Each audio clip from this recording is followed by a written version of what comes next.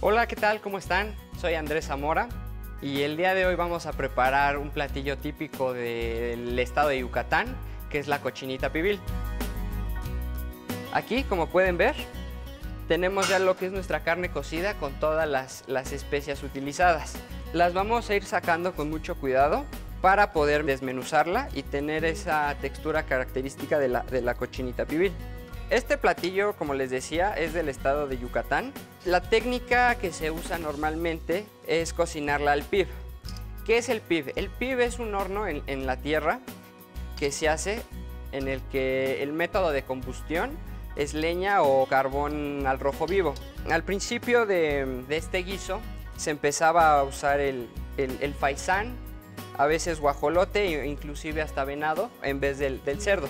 Este platillo, como lo conocemos hoy con carne de cerdo, fue la fusión entre dos, dos culturas, la española y los mayas. A continuación vamos a pasar a usar el molcajete. Lo que vamos a hacer va a ser poner todas nuestras especias, lo que es pimienta gorda, pimienta chica, un poco de sal y un poco de orégano también. Lo vamos a ir moliendo poco a poco con la mano del metate hasta que todo esté perfectamente en polvo. Y ahora para poderlo utilizar y sacarlo del molcajete le vamos a añadir un poco de agua. Ahora con lo que vamos a seguir, en nuestra licuadora vamos a incorporar un cuarto de la barra de, de y también vamos a utilizar vinagre de manzana.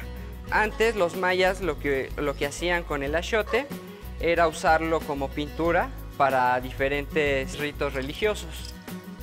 Aquí ya tenemos molido nuestra pasta de achiote. Ahora, nuestro siguiente paso, vamos a incorporar la manteca de cerdo. Vamos a sofreír nuestra carne.